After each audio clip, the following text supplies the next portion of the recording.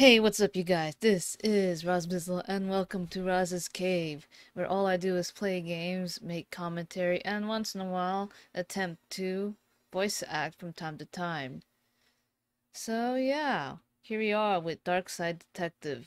I kept calling it Darkest Detective, but it's actually Darkside. Well, to me, they sound the same. Anyways, let's get on with the show. Hey chummers, this is Raz Vizla, and welcome to Raz's Cave. I actually did... I actually did this already, but I didn't record it, so I have to redo it again. So, sadly to say, that's just the case right now. Let me see if I can start the, the investigation again. So, Malice in Wonderland. So, yeah, all that wonderful voiceover is just it's just gone to waste. So I'm gonna go ahead and try my best to replicate it. So this guy is named Officer Dooley. Whoa! I almost shot you there, detective. You shouldn't be sneaking around like that.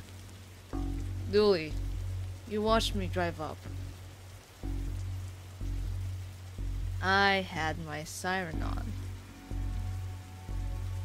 You waved at me as I pulled in.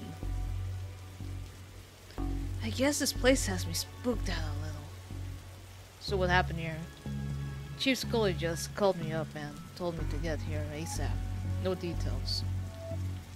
Um, seven-year-old kid, Alice, went missing a day ago. No sign of her leaving the house. Seems to be the kind of spooky crap, I mean. The kind of case you're into, detective. Great. Let's get started. After you, detective. You know whenever standing in this rain stops being fun for you. Our trusty squad car. I like to call it the Popo Moto. Hmm, let me try to figure out a voice for Officer Dooley, why is there a hobo dripping all over my carpet? Uh, that's um, Detective Francis McQueen. Mr. Jones. He's here to investigate. I see. Twin Lake's finest day. Nice schooner. Ah, you tell me it's not a schooner. It's a sailboat. A schooner is a sailboat, Dooley. Hope you don't smoke around your kid. Thankfully, I am rarely around my kid. So how can I help you, detective? Tell me about Alice. I'll level with you, detective. I don't have many dealings with her. She has a limited conversation pool. She's seven. Exactly. A tedious age. So I leave that to the nanny. She's around here somewhere. Where were you last night? Why didn't you notice she was missing? I was out. How wonderfully shady. Have you got an alibi? Where, where I was is none of your business, detective. My taxes pay your salary. They also pay for the cell and questioning room I am going to have Dooley here take you to. Fine. Call this number. They'll vouch for me. Busty Bell's Booty Boutique. Classy stuff. Ah, Bell. Fond memories. Hmm? I mean, where was he? A bell shop? What? I think I'm really messing with the accents here. Ah, shoot. Oh, well, we'll just go with it, okay? Place this fancy deserves something nicer than plastic flowers. What an odd place for a telephone. Must have run a place to draw. I mean, put it. Okay. I better check Roy's alibi.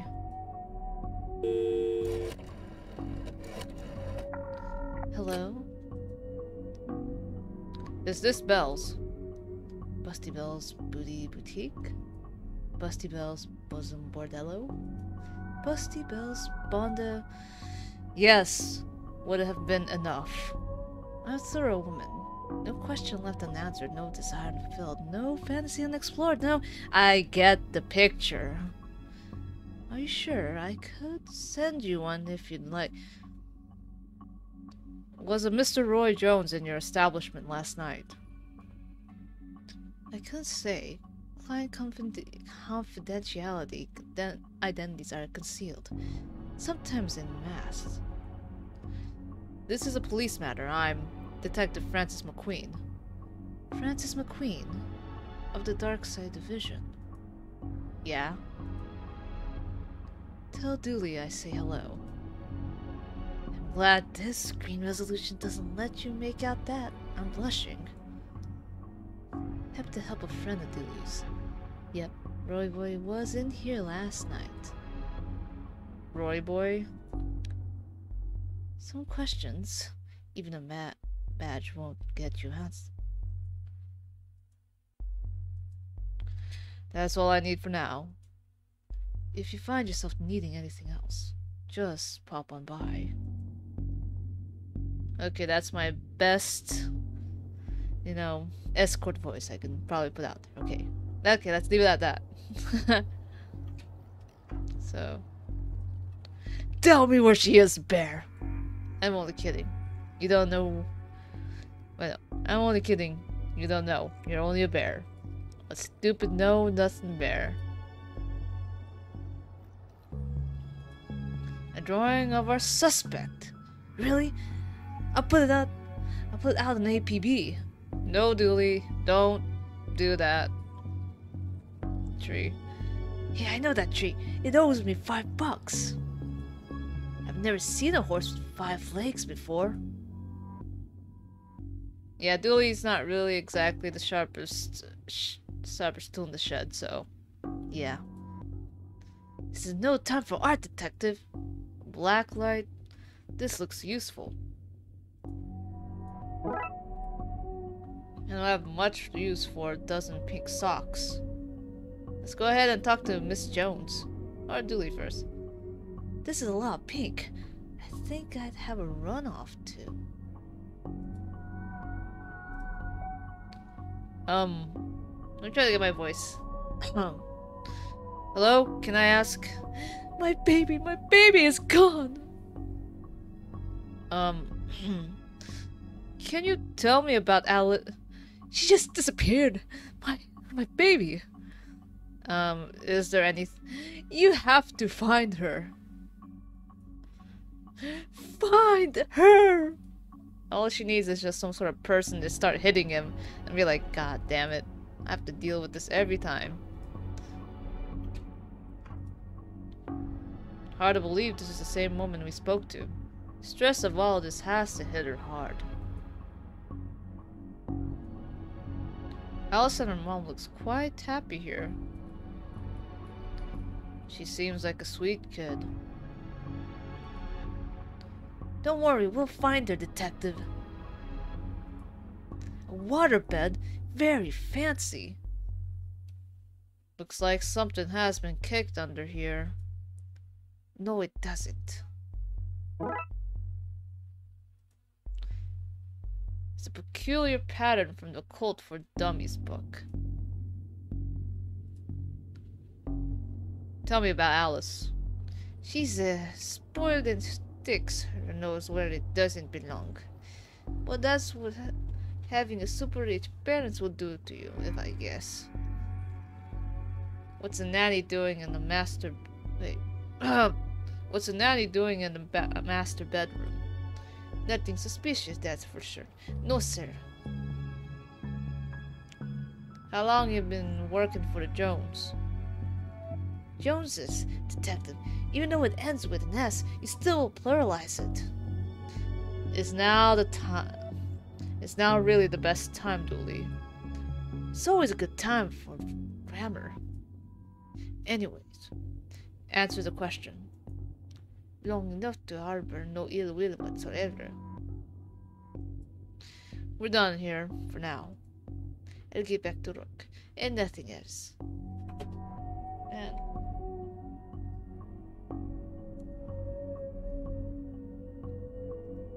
Okay. So far, obviously, the, the nanny's really suspicious, obviously. Thinner. The paint thinner fell when the shelf gave away. Not much left in it now. Just a bunch of forgotten memories. Those look heavy enough to knock someone out cold. Hmm. May not be broken after all, just a blown bulb. A box marked Anne's broken dreams. Broken shelf. Looks like this gave away recently, spilling paint thinner all over the floor. Okay, guess not much here.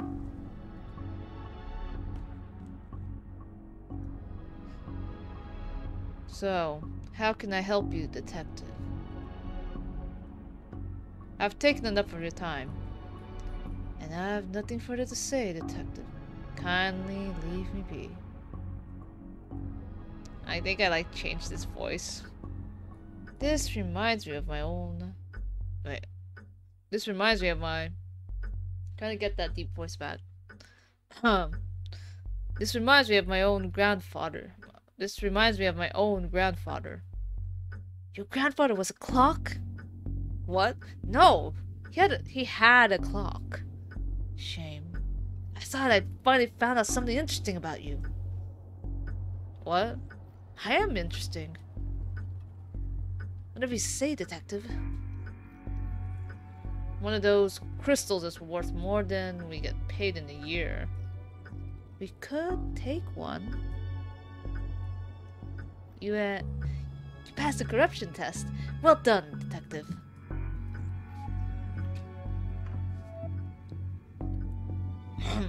Did you follow me into this closet? You may have needed backup.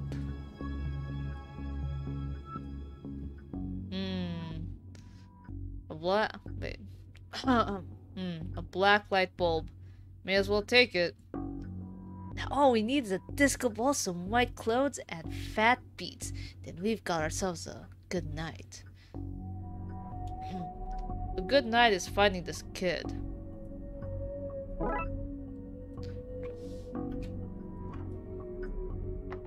Locked. I wonder where I'd find a key. Let's.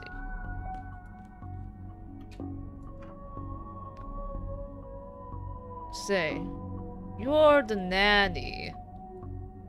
The very innocent nanny, yes. Do you have the keys for the various rooms? I am a nanny, not a maid. Right. But do you? Yes. May I have the key to the study then? Sure. There's nothing incriminating in there anyways. And that would be the... Again, I have technically played it, but for footage sake, I I need to do this. I need to go ahead and replay this. I wonder if... Yes, yes, we know. And hey, presto, we're in. Roy Jones Esquire. Takes a certain type of person to have an oil painting of themselves. An old oil lantern. Seems to have some oil left too. The statue is ugly enough to be worth a lot of cash.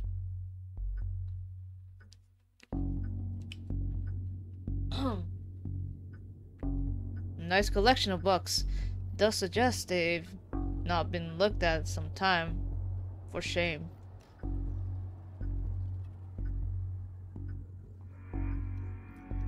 His magazine collection. Jeez, this guy's obsessed with jugs.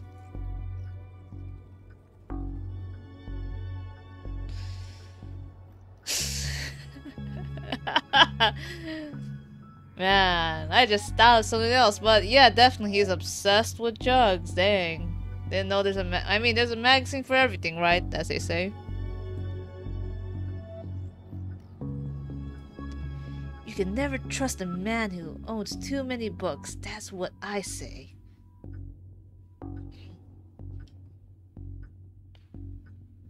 How many books are too many? Um, six? And how many books do you own? Feel comfortable with this line of questioning. I just find it ironic that I give the police guy like a very high-pitched voice and he's like muscly. And I gave a deep voice to this guy right here. I mean, I could just imagine having a dark, like a deep, smoldering voice, and then this dude, this buff, just has the most high-pitched voice. So, sorry if my uh, voice acting abilities is like very lackluster in a sense. Okay, what else was I supposed to do? Yeah, I think I was supposed to go up here.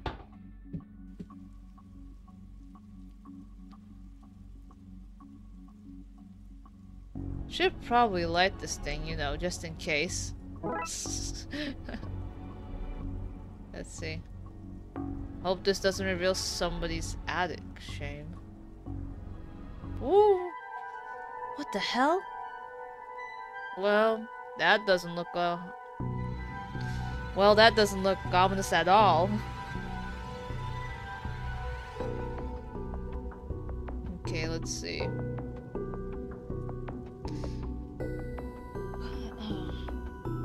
Okay, I seem to have everything I need. Let's get down to some spooky hijinks and withdraw those missing symbols. Let's see. Okay, let me try to mimic it. I, I got it. This one and the square over here. Yep. That should be it. Great. Maybe now's a good time to stop doing, well, anything really. Even I'm not foolish enough to go in there with no light. Well, luckily you have a light, man. Okay, Dooley. Let's do this. No offense, detective, but I'm going nowhere near that creep fest. I'll, uh, stand guard out here. A box marked baby's first cult robes. That's very specific. The label says old milk circa 1880. Why would you store that? All junk. Don't look in there, mister. That's where the three-eyed rats hide. So... This looks like the other attic. Right down to the broken shelf. Except, that's all blue and cold here. Hi, mister. Hey, kiddo. Are you here to take me home? Yep. Good. I'm hungry and the sounds from the downstairs are scaring me. Yeah, let's get out of here.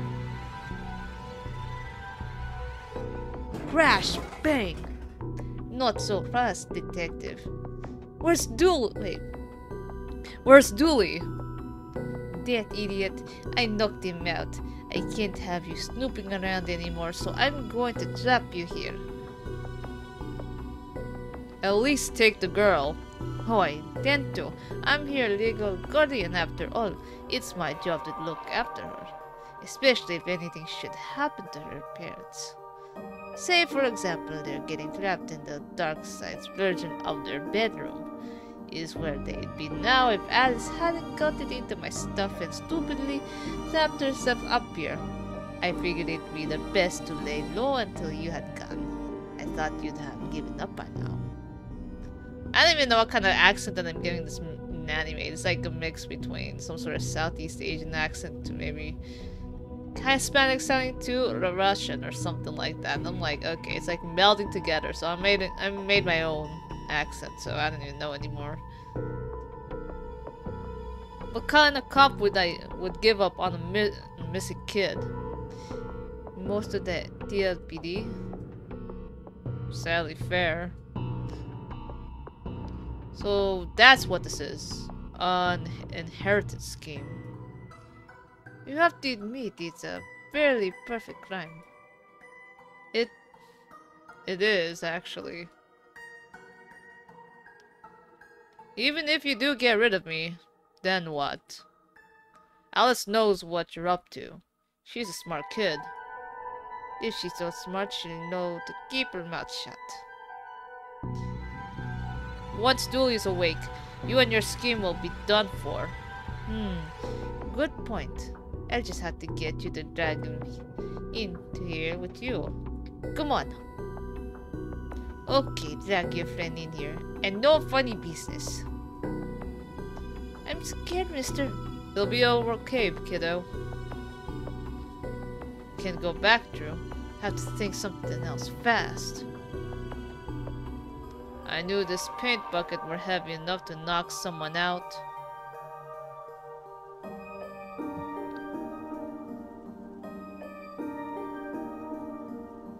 Ow! oh yeah.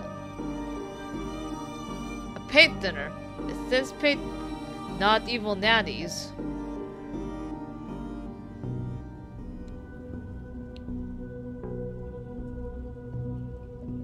Have a taste of your own medicine. No! Well, there. so, the kid got into the natty stuff and accidentally used it to trap herself in that creepy attic? The dark side, but that's a surprisingly succinct summary of things, yeah. Shame. The nanny was uncertifiable. She was a looker. Dooley. She was dabbling in the dark arts. With a plan to trap innocent people in a parallel world. Kidnap their kid and steal all their cash. I said it was a shame. Jeez. I wonder where the nanny got that occult books from anyway. That stuff is hard to find these days. Case for another day, I guess. First of all, we have to figure out what kind of paperwork covers this mess. Case closed. So yeah, there you go. For Dark Detective on the first one. And I do hope to see you guys again tomorrow, so yeah. That's it for today, you guys, and we are done with case one. So, I hope you enjoy. Like, subscribe, comment, do whatever you need to do. It would be great if I could appear in the algorithm somehow magically. So, yeah, that's all I ask for. And if you do really, really love what I do here, consider subscribing so you can see the latest stuff that I'm posting. I post from Monday through Thursdays. And if you're feeling, if you really, really love my voice, do go over to Raz's Psych and Gaming where I go over psychology and gaming stuff on Wednesdays and Fridays. So yeah, that's that.